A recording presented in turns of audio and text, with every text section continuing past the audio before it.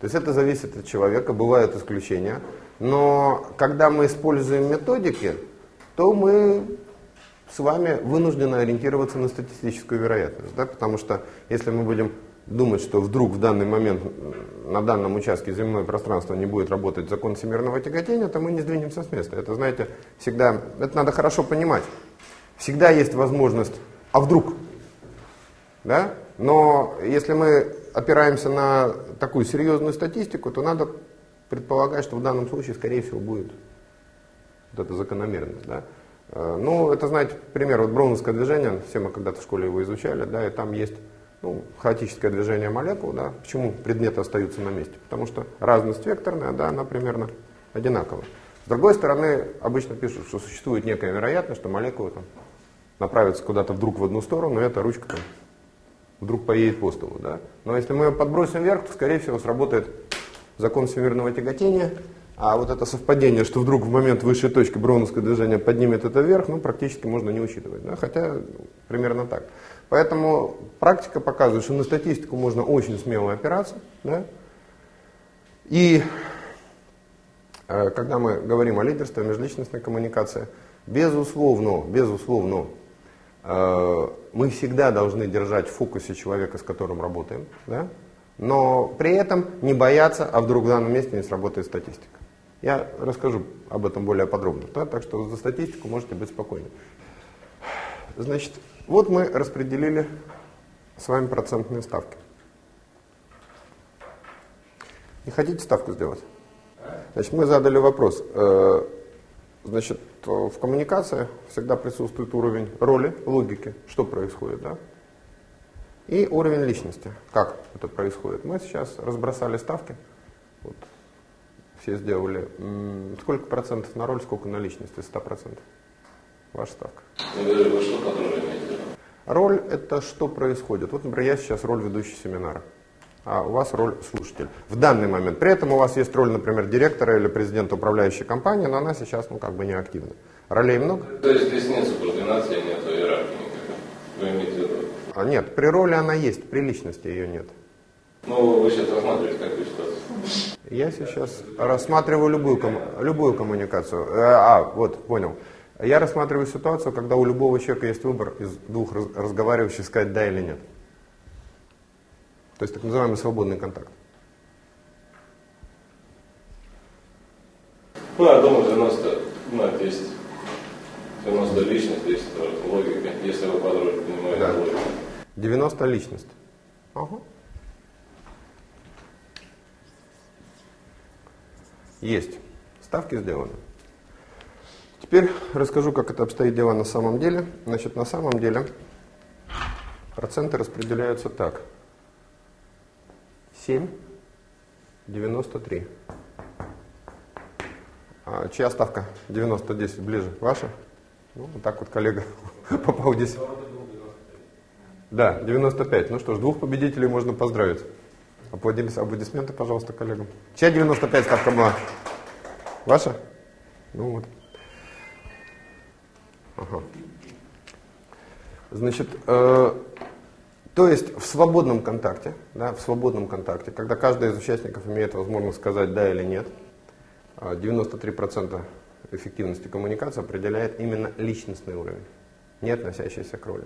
Кстати, из-за чего летят многие продажи, да, что продавец пытается действовать на уровне ролевом, не выстроив уровень личностный. Да, а ролевой уровень это size и price, это ассортимент, цены, описание продукта, да, это все ролевой уровень, то есть это относящийся к, к форме встречи, но никак не относящийся к межличностным контактам.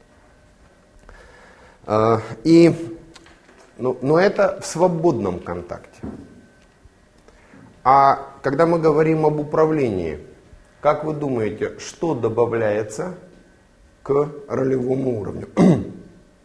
Вот мы берем компанию, да, роль. Допустим, я руководитель отдела, да, вы мои подчиненные. Это ролевой уровень. Что еще как бы подкрепляет ролевой уровень? А чем определяется субординация? Координация определяется иерархией передачи информации в принятии. Э, то есть, ины- ин- а как? полномочиям. Вот. Иными словами, ролевой уровень подкрепляет вся система корпоративного управления. Да? Если она есть. А если ее нету, то не подкрепляет. То есть, иными словами, э, за ролью стоит, в общем-то, э, уровень регламента всегда. Да? То есть, а мы говорили с вами, регламент это стратегия, регламент это структура, регламенты это всякого рода должностные обязанности и иные описания. То есть за ролью да, всегда стоит кристаллическая решетка вот такая, да? Или не стоит? Вопрос, насколько эта решетка работает. Да, насколько она выстроена. Мы с вами говорили уже, мы занимаемся четвертый день для новых, да? Мы с вами говорили уже, что во многих компаниях эта решетка отсутствует как класс. То есть, вернее как, она присутствует, но в декоративном виде. Она находится в различных фолиантах, там, в тех или иных формулярах, но на поведение сотрудников большого влияния не оказывает. Да, сотрудники работают так, как им представляется с точки зрения здравого смысла правильным и нужным, ну я уже беру степень крайнего хаоса, да, при этом часто на пользу компании, но не в соответствии с регламентами. Да, при этом регламенты практически не учитываются или не берутся в голову, и по регламентам мы говорили, нельзя отследить вообще, кто, вот если что-то не так, кто что не так сделал. Да, непонятно, кто что не так сделал. Вроде все все делали так, почему же результата нет, тоже непонятно. Значит, и вот такой. Значит, в итоге 7% да, это ролевой уровень. А из чего же складывается уровень личности. Значит, ролевой уровень определяется, как мы сказали уже, полномочиями должностными, названием должности, корпоративной структурой, иерархией, прочее, прочее, прочее. Чем же определяется уровень личности? А, вот эти как раскладываются, это 93%. Как они передаются в пространстве? Да? Как оказывается воздействие на личностном уровне? Каким образом? Да? Какими непонятными флюидами откуда одна личность получает представление о другой личности, каким образом эта самая личность ее оценивает. Значит, оказывается, распределяется это так. 55% это невербальное поведение. То есть, наверняка вы сталкивались с этим термином, невербальное, не речевое, это сигналы тела. И 38% это, да, конечно, я простите. Я сегодня подготовил, только забыл отдать. 38% это оформление речи. Значит, 55% то, что видит глаз, будем считать, что это глаз, и 38% это оформление речи, то есть то, что слышит ухо. Значит, одна личность получает впечатление от другой личности – на 55% с помощью визуального контакта и на 38% да, с помощью акустической информации. Но именно оформление речи. Содержание же речи только 7%. То есть содержание важно, да, без 7% 100 не будет, да, но это определяет всего лишь 7%.